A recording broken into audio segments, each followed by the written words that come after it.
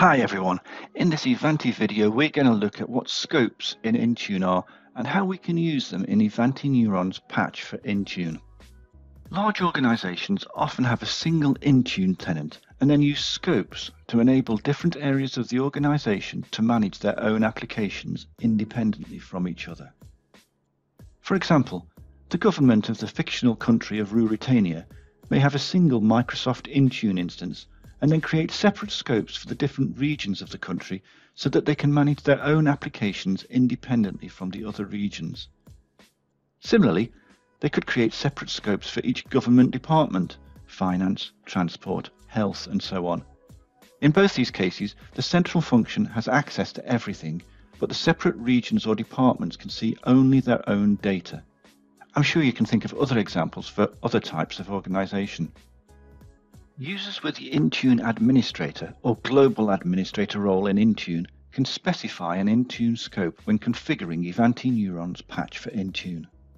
This means that if your organization has a single Intune tenant with multiple scopes, you can have a separate Ivanti Neurons tenant for each individual scope on that Intune tenant. This enables the central function of the organization to monitor everything and manage the central Intune application while the separate regions or departments see and manage only their own data through Ivanti Neurons patch for Intune. You set the Intune scope using the Patch for Intune Settings component under Admin in your Ivanti Neurons tenant. Click the Edit icon, then select the required scope. Select Default if you do not want to use an Intune scope. When you click Save, you are warned that changing scopes invalidates all your Patch for Intune managed applications and data. You are changing which data in Intune you can access, so the previous data no longer applies.